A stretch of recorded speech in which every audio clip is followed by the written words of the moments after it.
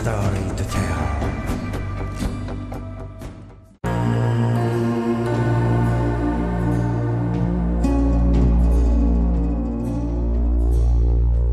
Brazil and Italy developed a multirole fighter called AMX. It was dubbed as the Light Tornado. This is a close air support aircraft in line with the Brazilian and Italian philosophy at an affordable price. So how good was the AMX and how successful it was on the rounds it was given?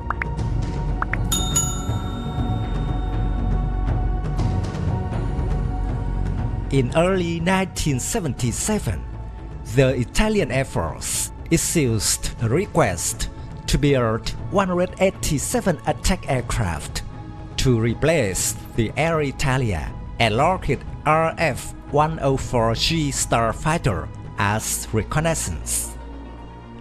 In 1980s, the Brazilian government announced that it intended to join the program as an alternative to the Aermacchi MB326 family.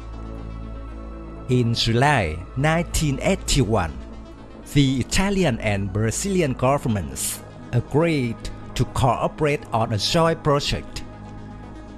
The plan is 187 aircraft for Italy and 100 for Brazil.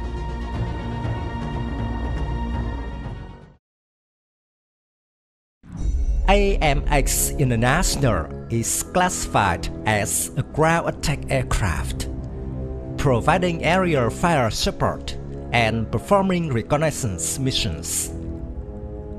AMX is designated A11 Ghibli in the Italian Air Force and A1 in the Brazilian Air Force.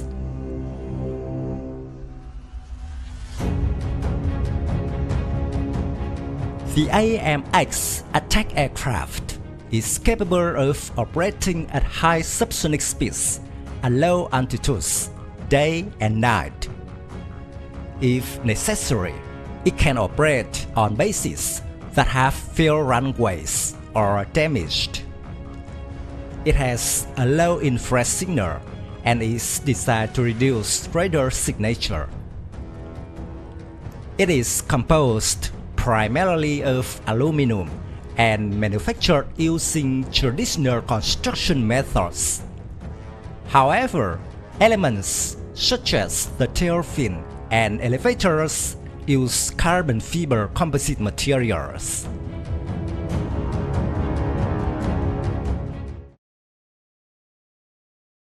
AMX has a length of 13.23 meters a wingspan of 8.87 meters, a height of 4.55 meters, an empty weight of 6.7 tons, and a maximum takeoff weight of 10.75 tons.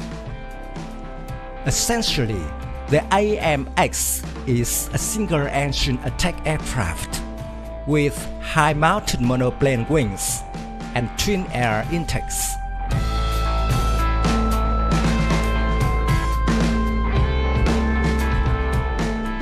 A large proportion of the AMX internal space is located to avionics and onboard computer systems. Both the navigation and attack systems are computerized.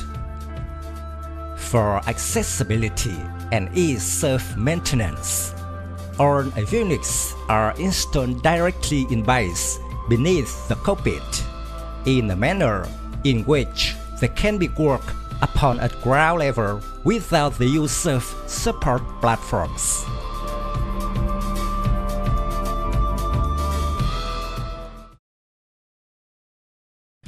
Drawing on experience from the Panavia Tornado, the AMX is equipped with a hybrid flight control system a fly-by-wire control system is employed to operate flight control surfaces, such as the spoilers, rudder, and variable incidence tailplane, while the ailerons and elevators are actuated via a dual redundant hydraulic system.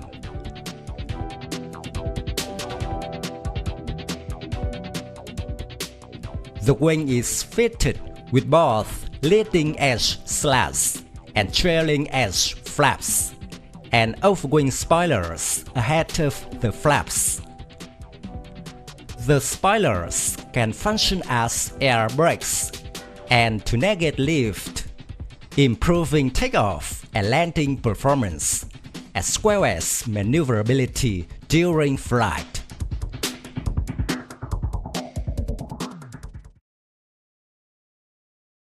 The AMX is powered by Rolls-Royce Spey 807 turbofan engine that produces 49.1 kN of thrust. The aircraft can reach a top speed of 1053 km per hour. Combat range is 889 km. Service length is 13,000 meters and rate of climb is 52.1 meters per second.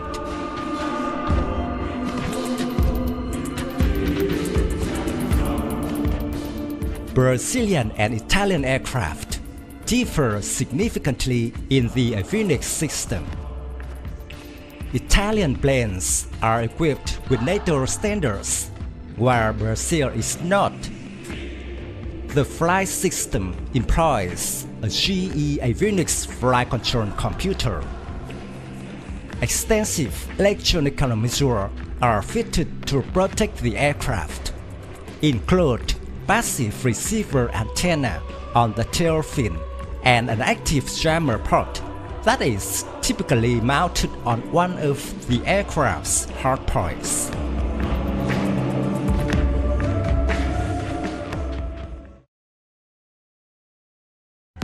AMX is equipped with 7 hardpoints, with a payload of up to 4 tons, including bombs, missiles, rockets, etc.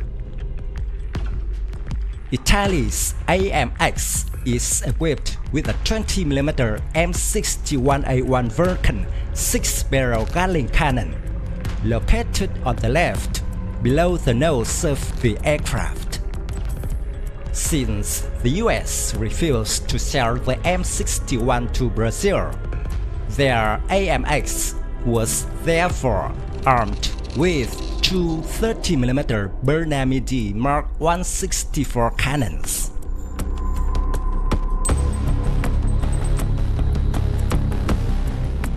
The Italian AMX has seen remarkable performance since put into service. In 2011, it fought as part of a UN-led air campaign against Serbia with more than 250 sorties. Italian military aircraft deploy 710 guided bombs and missiles during sorties. Italian Air Force Tornadoes and AMX fighter bombers deploy 550 bombs and missiles, while Navy AV-8Bs deploy 160 guided bombs.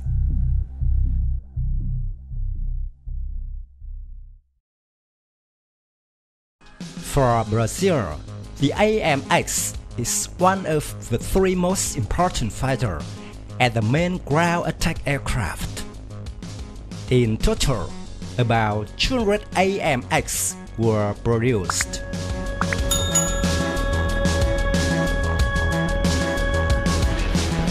My video about the AMX International Fighter here. Thank you for watching. If you find this video interesting, please give me your thumbs up. Don't forget to subscribe to support the channel. Goodbye and see you again in the next videos.